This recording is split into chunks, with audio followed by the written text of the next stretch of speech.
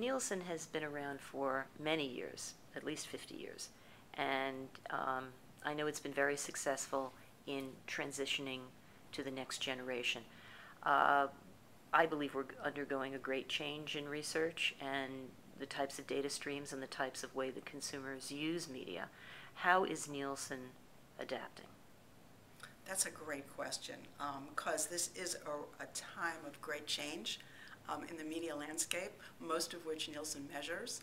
So, um, you know, we definitely are in a situation where, you know, people talk about changing the the, the wheels on the bus while the bus is, is speeding ahead, and I guess we're trying to, um, you know, change the, the speedometer, the tachometer, um, while the bus is speeding along, and the whole landscape around the bus um, is changing. So I think everything that Nielsen measures is changing rapidly, and we're trying to keep up with that. We're trying to capture, if you're talking about television viewing, we're trying to capture television viewing wherever and whenever it occurs, and those possibilities are continuing to expand. Um, so um, it is a real challenge.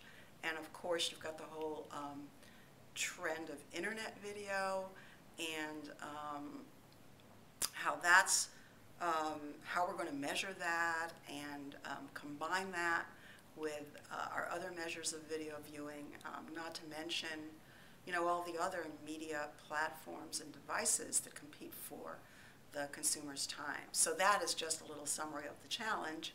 And, um, and what's happening at the company now is I think that um, the company is making a major concerted effort um, to both capture all of that usage, all of that media behavior, and then integrate, integrate it um, into some combined measures that make sense.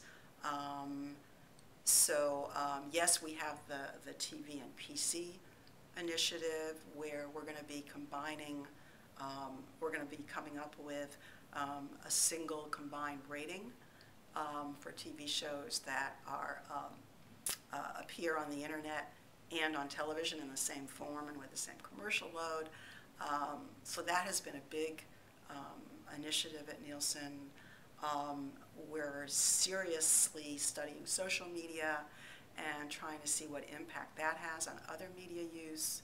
Um, and um, we are, uh, you know, there's, there's a big push here to combine the buy side of the company, what we call the buy side, which is the consumer data and the consumer research, with what we call the watch side, which is all the media usage data that we have. I mean, that's also, I think, the holy grail of trying to see how um, those two um, sets of measures um, interconnect and how one affects the other and how one drives the other. So I think there's a big push here for integration um, and, and also to become as granular as we can. So there's, there's breadth and then there's, there's depth um, granular in the sense of, um, you know, like everyone, well, like some other um, uh, parts of the industry, you know, we're also looking at set-top box data and trying to figure out how we can use that to help measure television viewing more accurately um, and in more detail. Um, and then down to things like the use of neuroscience. You know, so we have a, a part um, ownership of uh, NeuroFocus, which is one of the, the, you know, the big neuroscience companies. So trying to get beneath the, um, the surface of what the eye can see when it comes to um, media use and consumer behavior. And, and I think trying to become um, more of a consulting kind of resource to our clients rather than just a provider of data. Jo, where do you see the media industry in like the next five to ten years? Okay, well, if I were going to look in my crystal ball, um, I think, I mean, first of all, you know, we all know things are changing so rapidly. Um, and so it's kind of hard to project out, and things have sort of emerged on the landscape out of seemingly nowhere and suddenly become very important. Um, you know, my thinking is, you know, for a while, everybody was very excited about 3D TV, for example. Let's talk about television. Um, 3D TV got people very excited. Um, I think it's going to be a while before 3D really becomes important in the, uh, you know, the television marketplace. Because um, the problem is the glasses. And until that problem is dealt with, I think it's going to be a minor sort of sidelight. I think you have a lot of people who will be buying 3D televisions, but simply because those are the best, newest televisions out, out there. Um, so anyway, um, I, you know, that's one of the things that I think is not going to progress all that quickly until we solve the problem with the eyeglasses.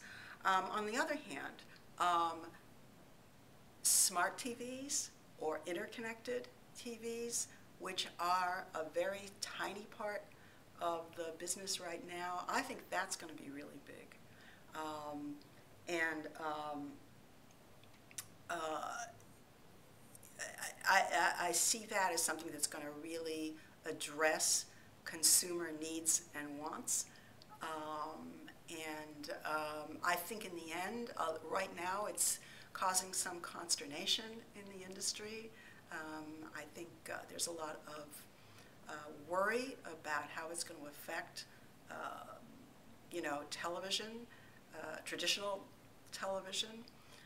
But um, and obviously there are there are business issues that have to be resolved um, along the lines here. You know, people have to get compensation when their content is used. Um, from a measurement perspective, you know, we have to figure out how to measure all of that viewing and attribute it correctly.